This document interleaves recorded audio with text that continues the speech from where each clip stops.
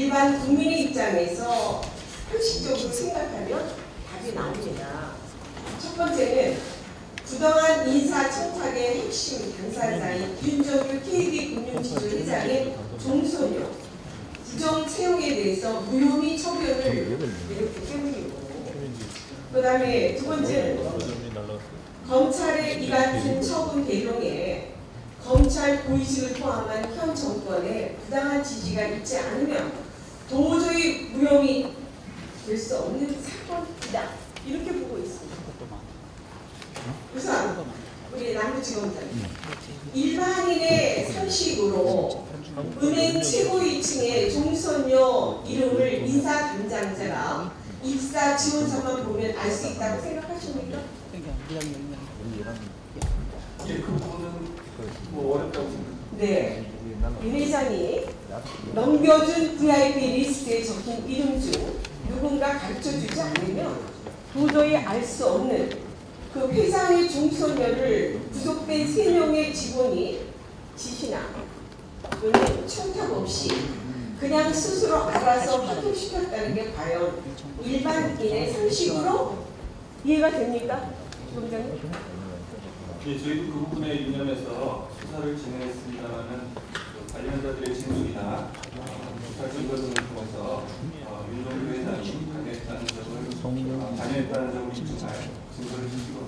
네, 제가 말씀드릴게요. 공소장에도 나와 있지만 2015년 윤 회장이 비서실정을 통해서 전달한 청탁 지원자 명단, 즉 VIP 리스트에 그 윤 회장의 종손녀를 포함해서 국민은행 고위 관계자 친인척이 포함되어 있었고 실제로 윤 회장의 종손녀를 포함해서 세, 명- 세 명이 된 거는 맞죠? 그렇죠? 예, 맞죠. 그리고 채용된 손녀는 지금 광주의 한 국민은행 지점에 근무하고 있는 것도 맞죠? 그 부분까지 네. 네. 이 지주 회장을 할아버지로 두고 있는 이 종선녀의 아나무인식 근태에 대한 동료 직원의 불만과 비난을 차지하고 이 서, 저기 파워포인트에서 보시는 것처럼 그 종소녀는 서류 전형에서 840명 중에 813등을 하게 됩니다. 그 다음에 1차 면접에서는 300명 중에 273등을 해요.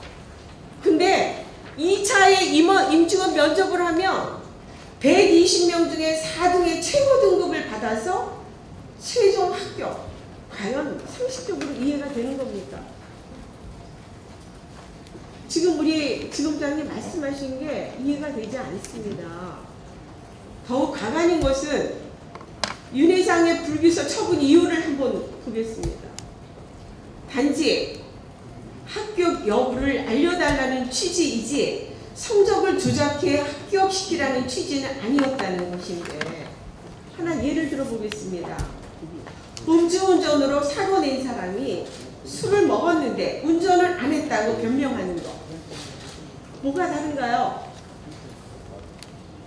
오히려 윤 회장 지시에 따라서 명단을 전달하고 종소녀 합격을 기획한 비서실장은 구속을 면, 면하고 상무로 승진하기까지 했는데 어떻게 이런 일이 있을 수 있습니까? 상식적으로 생각을 해보세요. 저 부행장을 포함해서 3명을 구속해서하는 등 나름 열심히 했습니다만은 이런 도시에 또 위급한 점이 있을 수 있다고 생각합니다.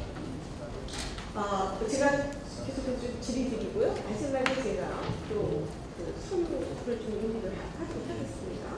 네, 또 이론이 많고 적음을 떠나서 그 윤 회장이 건넨 그 명단의 지원자 중에서 한 명이라도 실제로 채용이 됐다면 그 자체만으로도 인사청탁인가요? 아닌가요? 그거는 사실관계를 case by case별로 좀 봐야 될것 같습니다. 어, 이제 그렇게 말씀하시지만 우선 지금 명단을 회장이 전달했다. 그 명단을 전달했다는 것 자체가 그 부하 직원들의 입장에서는 아 우리 회장이 이 사람에 대해서 관심을 가지고 있구나 하기 때문에 이 정시가 안 돼도 이렇게 이런 아까 보신 것처럼 1차 면접, 실무 면접, 그 다음에 2차, 3차 이렇게 이런 식으로 바뀌어가는